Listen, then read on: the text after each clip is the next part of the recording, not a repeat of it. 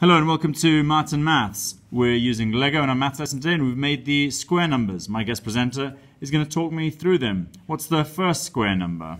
That one. Because it's 1 times 1. What's the second square number? That Because I've got 2 times 2, which makes 1, 2, 3, four. 4. What's the third square number? That one. Because 3 times 3 is.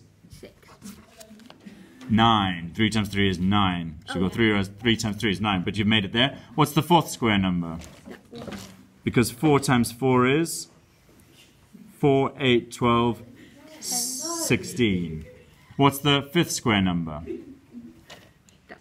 Which is 1, 2, 3, 4, 5 by 5, and 5 times 5 is Twenty-five. 25. We go to the sixth square number here. What's 6 times 6? Thirty-six. Good. 6, 12, 18, 24, 30, 36. We haven't made the seventh square number, but we've made the eighth. 8 times 8. What is 8 by 8? 8 times 8? 64, So if we quickly go through the square numbers, we get 1, 1, 4, 4. 9, 16, 65, 6, 8, 64, 81, so 100. Fantastic. Thanks for watching. Don't forget to like, subscribe, and share. And goodbye for more. Goodbye for more.